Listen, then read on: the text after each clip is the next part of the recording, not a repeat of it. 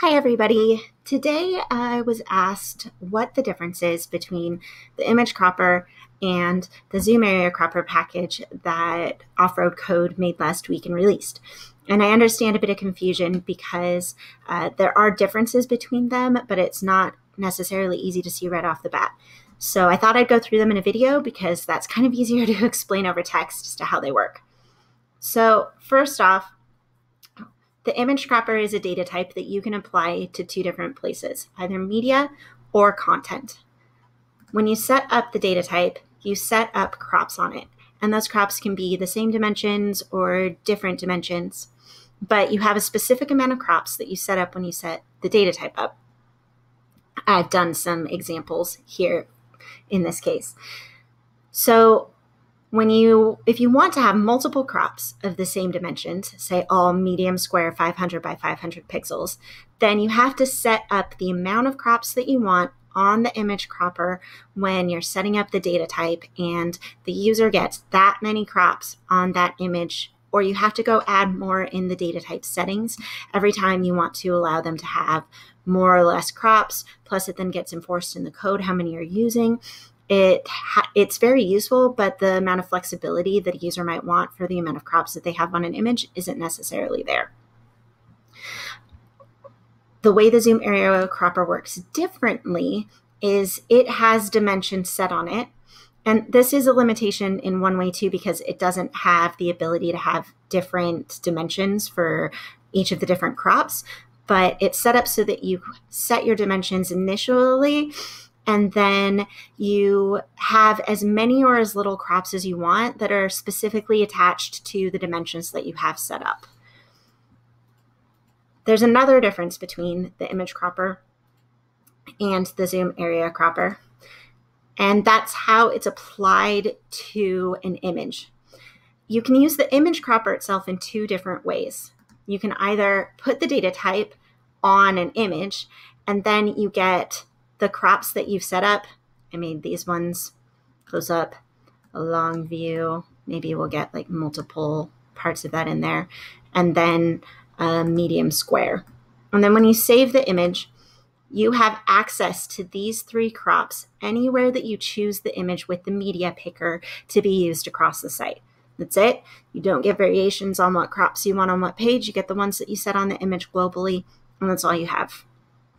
If you want to have different crops on different pages using the image cropper, then of course you have to apply it to a piece of content.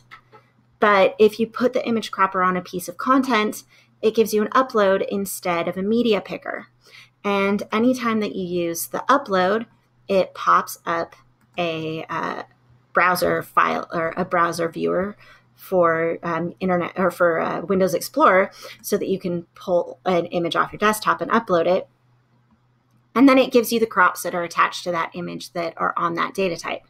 So if I want to zoom in on Pete's head, in this case, for my medium image, but on a different page, I want to zoom in on Steve's head for my medium image, then that means that I have to upload this image multiple times. So it's on the server in multiple cases, and it has a different instance on every page because you can't pick it with the media cropper or the media picker. So the way the zoom area cropper works, we'll just keep peek here. The way the zoom area cropper works is instead of an upload, you get to select an image. And I'm using this Magic Rock uh, image I took in England as my example.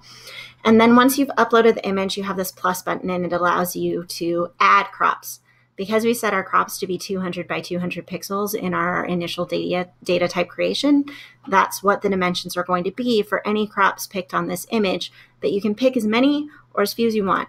So if we select one, drag the focal point over here,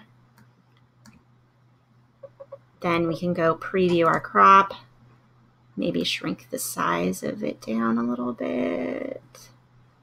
Hmm. There we go. That kind of puts it nice in the middle. And we'll name this one so that you can see that. And if I want another crop, I can add another one. and again go in and preview it and then resize it to fit inside the dimensions that I want to return on the front. And I can add as few of these or as little of these as I want. So I have these on a uh, on an image by image basis, but it's attached to the content. So if I click save and publish this, this exists on this page with these crops. But if I go back to media, then I still have the original crops from the image cropper that I can use globally. And this image is still returned as I publish content on the Zoom area cropper. So if you want to get access to this media with all of the crops that are attached to it with the image cropper, you still can. You can get everything that the image cropper has already attached to the media because we return you the crops that you use from the Zoom area cropper and the I published uh, content for the media. So you really have access to everything. It's kind of like a dual bonus there.